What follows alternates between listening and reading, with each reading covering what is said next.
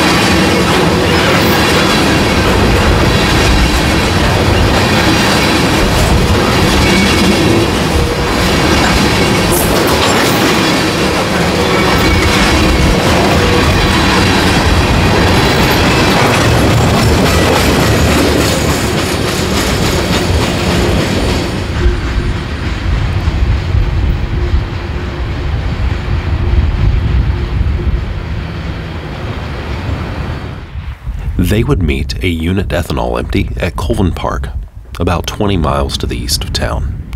An SD 70 M 2 was leading toward Kishwaukee Street.